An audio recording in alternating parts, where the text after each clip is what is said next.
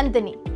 आज हम कुछ ऐसा पढ़ने वाले हैं जो कि फिजिक्स और बायो का एक बेहतरीन कॉम्बिनेशन है, और वो है हमारी human eye but why I am saying it's a good combination of physics and bio क्योंकि बच्चों आई जो है, वो स्पेशल टिश्यूज से मिलकर बनी हुई है, जिसमें एक बायो कॉन्वेक्स लेंस भी है।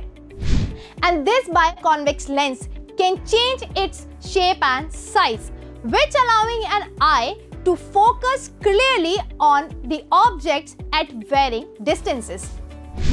But hold on, how it can change its shape and size? For understanding this, let's go through the structure of an human eye. This is how our eye looks. Let's see its side view. Structure देख के हमें समझ में आता है कि it is spherical in shape.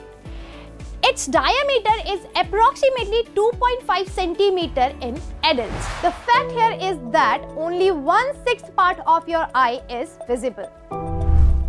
Let's see all the parts one by one. This outermost covering of an eye is known as sclera. It is opaque and white in color.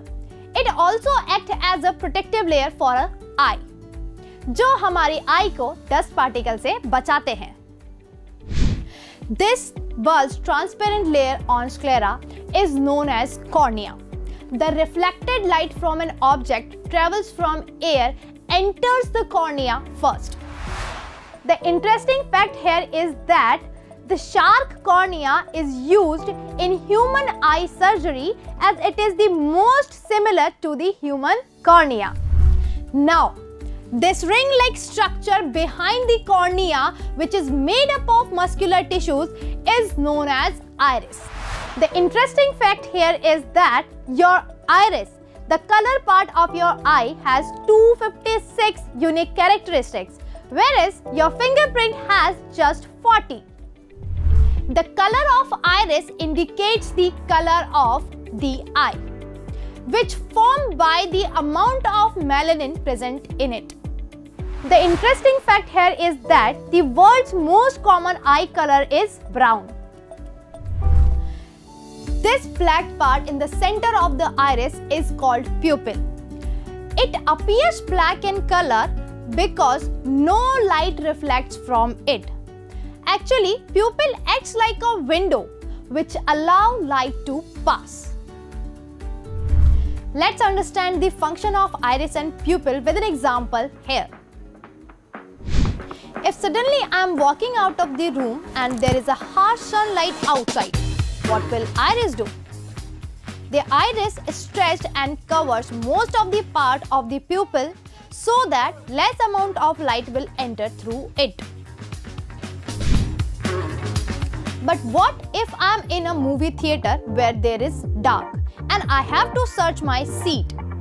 The iris compresses due to which the area of pupil increase and more light can pass through it and I can see my seat number.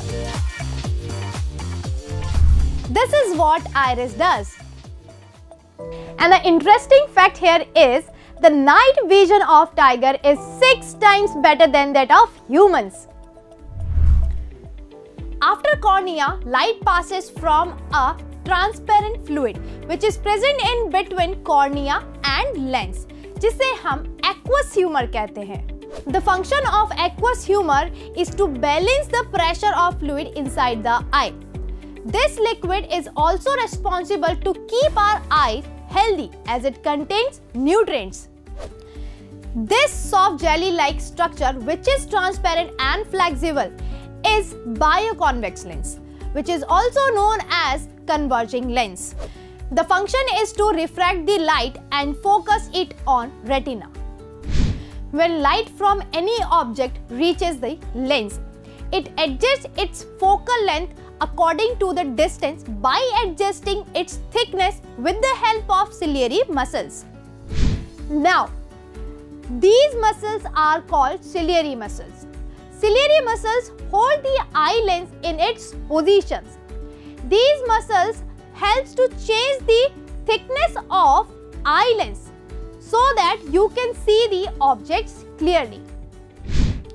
This area in between lens and retina is known as vitreous chamber.